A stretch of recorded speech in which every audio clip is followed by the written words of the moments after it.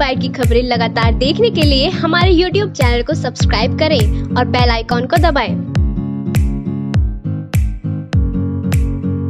इस खबर के प्रायोजक है K M C health city and K M C cancer institute उत्तरी भारत का आधुनिकतम सुविधाओं से युक्त चिकित्सा संस्थान, बागपत रोड, मेरठ नमस्कार, आप देख रहे हैं फ़र्स्ट बाइट डॉट टीवी कुख्यात विकास दुबे के एनकाउंटर में मारे जाने के बाद यूपी पुलिस ने उन अपराधियों की नाक में नकेल कसना शुरू कर दिया है जो लंबे समय से पुलिस व आमजन की मुसीबत का सबब बने हुए हैं।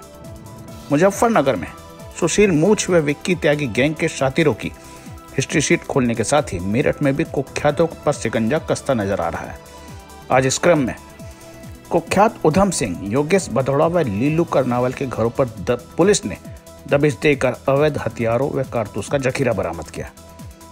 इन तीनों की ही संपत्तियों की भी जाँच की जा रही है। उधम सिंह की जान को खतरा बताते हुए उसकी पत्नी ने कहा है कि पेशी पर लाए जाने के दौरान पुलिस उसका एनकाउंटर कर सकती है। हालाँकि एसएसपी मेरठ ने इस बात से इनकार किया है।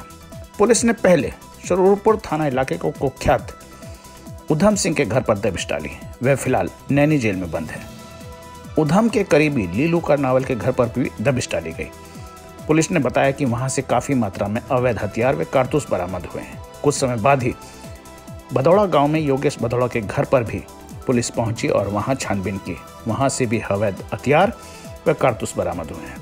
इस बारे में एसएसपी अजय सानी ने मीडिया को यह जानकारी दी। ये अभी हमें मीडिया के माध्यम से ही जानकारी प्राप्त हुई है कि उधम सिंह हैं पत्नी ने एक याचिका डाली है और साथ ही एक अप्लीकेशन भी मुझे प्रेषित किया है।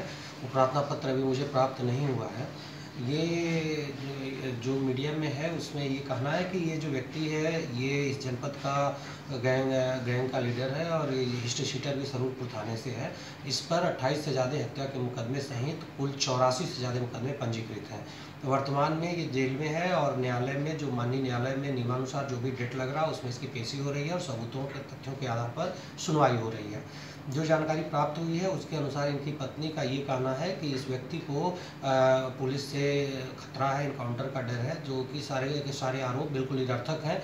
जितने भी डेट में पेशी लगती है, पर्याप्त पुलिस बल, संबंधित जनपद जहाँ की जेल में ये बंद है, वहाँ से लेकर आता है और सुरक्षित तो पुलिस बल वापस उस जेल में पहुँचाता है।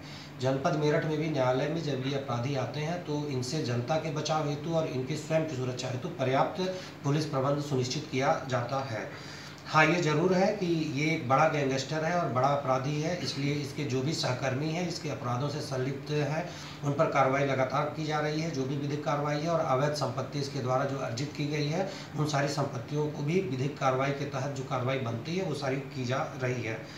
और इसके द्वारा जो भी आरोप लगाए गए हैं इसमें किसी भी आरोप की निरर्थक है कोई पुष्टि नहीं हुई है।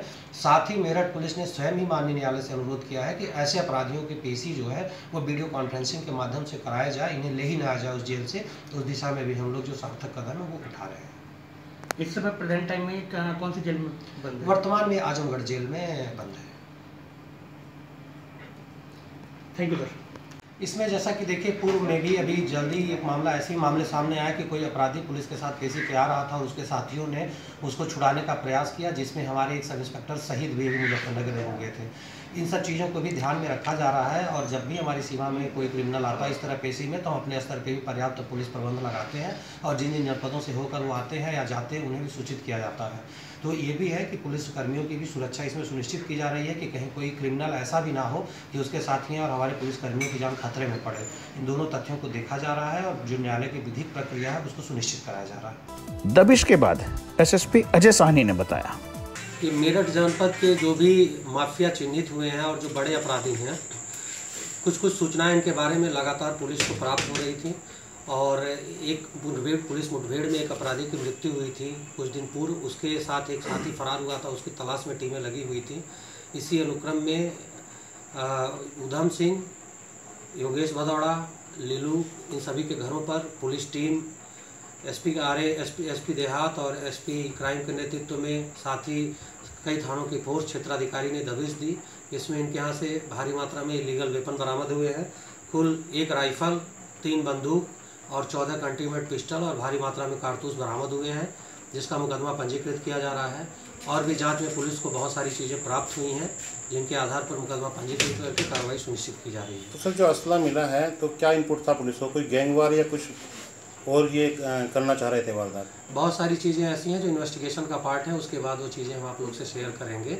अभी तक जैसे मैंने प्रारंभिक तौर पे आपको बताया कि एक अपराधी मारा गया था उसके साथी फरार हुआ था जिस पर लगातार पुलिस की टीमें काम कर रही थी और उसी के अनुक्रम में ये दबिश हुई है और लगातार इन अपराधियों पर कार्रवाई की जाएगी। इस खबर में आज इतना ही आप देखते रहिए फ़र्स्ट बाइट डॉट टीवी नमस्कार।